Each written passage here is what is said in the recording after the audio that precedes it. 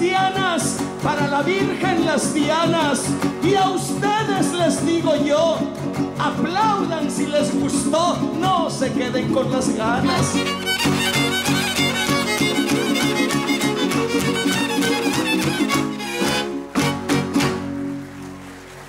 Gracias.